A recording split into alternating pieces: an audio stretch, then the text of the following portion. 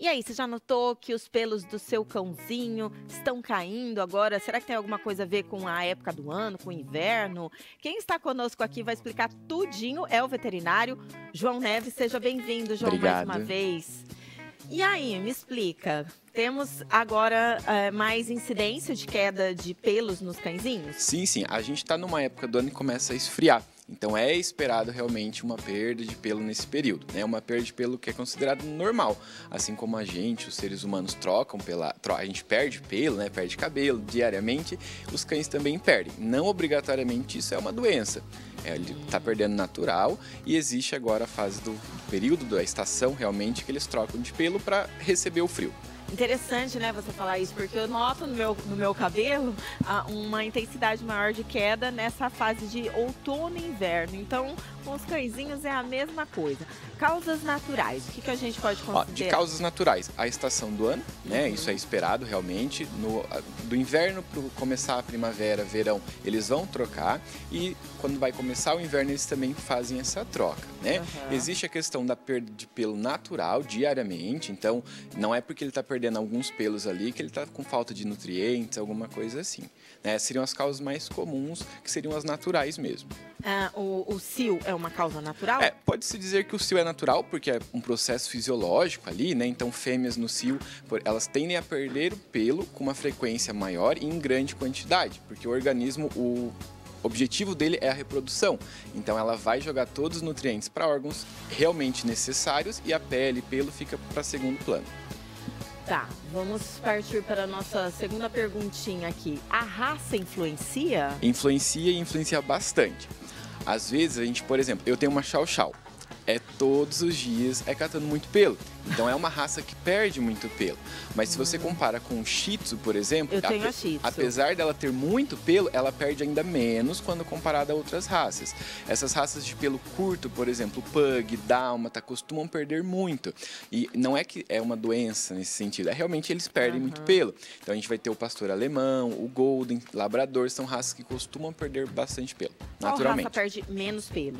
Ó, eu diria que, por exemplo, o York, o Lhasa, o Shih Tzu, eles são raças que, apesar do pelo longo, perde pouco. Quando Nossa, comparado. menino, a minha Shih Tzu, que é branca e preta, a, a, a, gente é visível assim no tapete, nas almofadas. É porque fica destacado por causa da cor Exato, também da tem pelagem, isso também, né? isso favorece.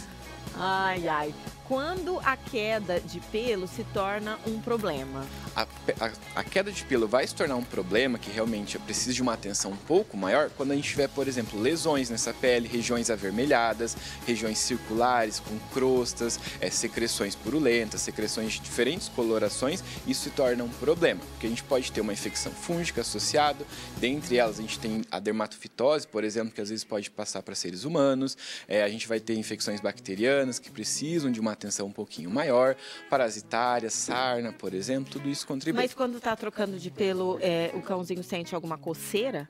às vezes pode sentir uma coceirinha se a pele estiver mais ressecada, né? Quando ele tiver uma prurido muito intensa, muita coceira, aí realmente também demanda uma atenção, porque não é só uma queda de pelo natural. Porque daí a coceira pode causar alguma lesãozinha, como você ah, falou. Por né? exemplo, um shih tzu, um lhasa, que geralmente tem um rostinho mais curto, começa a coçar demais, vai lesionar a globo ocular e a gente vai ter outras alterações.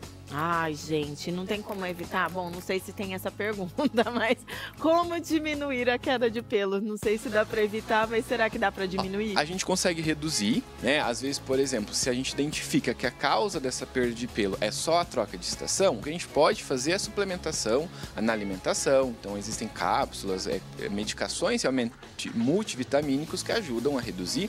A escovação também reduz um pouquinho a queda, né? Você vai tirar com a escovação, você vai começar a tirar tirar esse pelo, então não vai ficar caindo naturalmente. Uhum.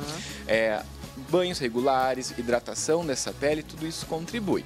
Em caso de fêmeas, por exemplo, não castradas, indica-se a castração, porque a desregulação hormonal durante o cio faz com que caia mais pelo ainda. É, no caso da, do primeiro ponto que você falou, da suplementação, daí tem que consultar o veterinário, né? Isso aí é importante passar para a gente identificar se é só realmente uma queda sazonal por conta da estação, se é por conta do cio, por exemplo, ou se a gente tem outras causas como base. E no caso da escovação é todo dia? É, recomenda-se diário, né? Pelo menos aí umas duas, três vezes na semana já seria suficiente, já ajuda. Diário ficaria melhor, porque até o pet gosta bastante desse contato com o tutor. Ai, ai. Como tratar a queda de pelo? Você falou do banho, é, tem que aumentar a quantidade de banho por conta disso? Assim, na verdade vai variar de acordo com o animal. Tem alguns animais, por exemplo, que o banho uma vez no mês é mais do que suficiente. Existem animais que estão em tratamento para problemas de pele, que daí realmente recomenda-se um banho com uma frequência muito maior. Uhum. Às vezes diários, a cada três dias, mas isso de acordo com a alteração dermatológica que ele tem. Se for só um banho de estética, por exemplo, a cada 15 dias, 30 dias, na maioria dos animais é mais do que suficiente. E no caso de tratamento é só se for algo patológico mesmo. Exato. Se a gente tiver, por exemplo, influência, influência de algum parasita, sarna, geralmente a gente costuma acompanhar.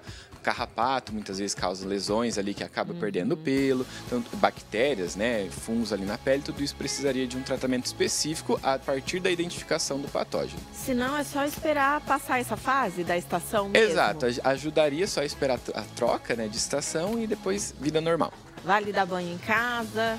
Vale dar banho em casa, porém com algumas com cautela, né? Não pode, por exemplo, deixar resquício do shampoo no animal, não pode deixar muito úmido, tem que fazer secar direitinho, secador? secar. Eh, pode usar o secador numa temperatura ok e um distante do animal, né? Pelo menos uns 30 centímetros já ajuda. Não uhum. pode ser uhum. muito quente e qualquer resquício de shampoo, de água que fica na pele, vai irritando e vai predispor a infecções nesse caso. João Neves, esse papo me deu até coceira no nariz, menina. Eu não sou alérgica, mas olha, o que eu já comi de pelo esses dias da Cacau. Obrigada mais uma vez pela sua presença, viu?